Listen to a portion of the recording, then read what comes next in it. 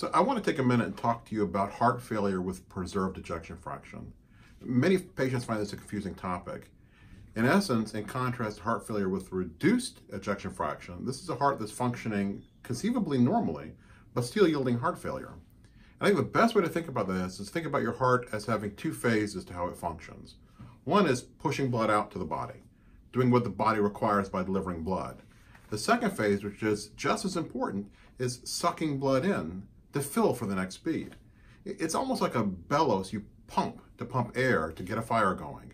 That phase of bringing blood in is critically important.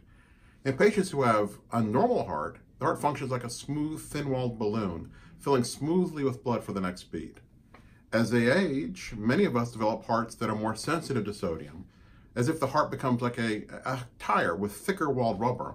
It doesn't, doesn't quite fill quite as smoothly. In heart failure with preserved ejection fraction, it's like a tin can. It's very stiff, not very malleable.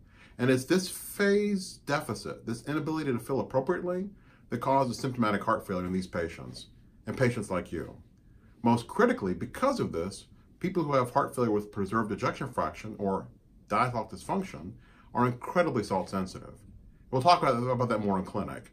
But I want to provide you this overview because it's a critical deficit in understanding that affects many of our patients.